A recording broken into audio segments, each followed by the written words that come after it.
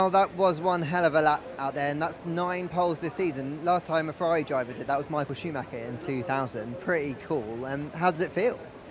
Uh, well, that's obviously very special to hear that. On the other hand, we need to win more races on the Sunday, so uh, that's where our focus will be. Uh, it's, uh, it's great to be on pole, but uh, um, but yeah, again, we've got uh, to finish the job tomorrow. And but to be honest, I'm, I'm happy because Friday, yesterday, had been a very difficult day.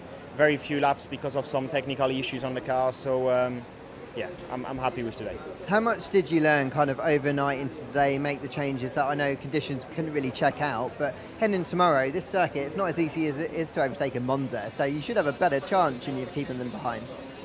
Yeah, but I, I don't want to rely on the fact that it's just harder to to uh, uh, to overtake. I, I really hope that we can also show that our performance is very strong because it's been the case all weekend. So um, uh, yeah, I'll rely on pace, and obviously here it's a bit more difficult to overtake.